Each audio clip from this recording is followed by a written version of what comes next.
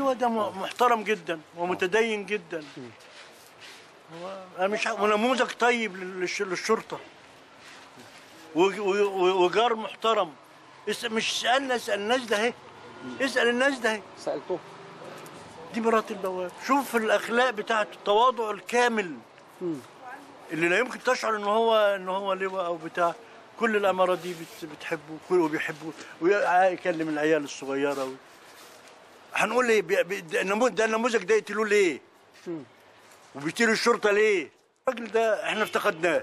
ومصر بتفتقد زيه كتير من الشرطة. ولن ينتصروا. لن ينتصر هذا هذا ال- ال- الفصيل الدموي الرهيب. المجرم. ده أنا من سنة قبل 79 وهو جاري من 79 كان كان هو لسه بيدرس في كلية شرطة ولا؟ كان ظابط كان ظابط وقتها. كان ظابط وظابط صغير نما نما في وسطنا درجه درجه درجة. ولم نشعر اطلاقا بانه بإنه بقى لواء. ولا ت- ولا تحس اطلاقا إنه هو من أعلى السلطة الشرطية. مؤدب محترم متدين جدا. متدين جدا. أنتوا سألتوا الست دي؟ قالت عليه إيه؟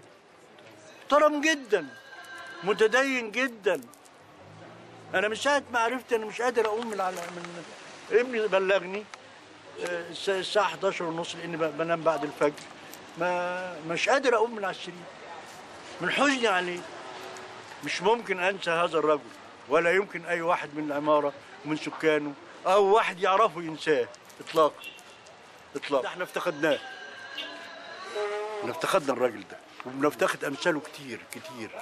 وهم ما لهمش وقت غير الشرطة والجيش. مش ح... الشرطة والجيش مش هتخلص. ومش هتنكسر اطلاقا ومصر لن تنكسر. طول ما وراها جيش قوي وشرطة قوية. ببلاوي نقول للببلاوي رئيس الوزراء بلاش بلاش طبطبة. عليهم والقرارات لازم تنفذ. إرهابيين لازم يطلع قرار إنهم إرهابيين ويعتمدوا من رئيس الجمهورية. ويرسل لل- لل- للأمم المتحدة. لازم. ووزير الداخلية بكل حسم وبكل حزم يضرب عليهم يدي من حديد وبعدين ال- الأحكام عايزينها بتبقى سريعة شوية.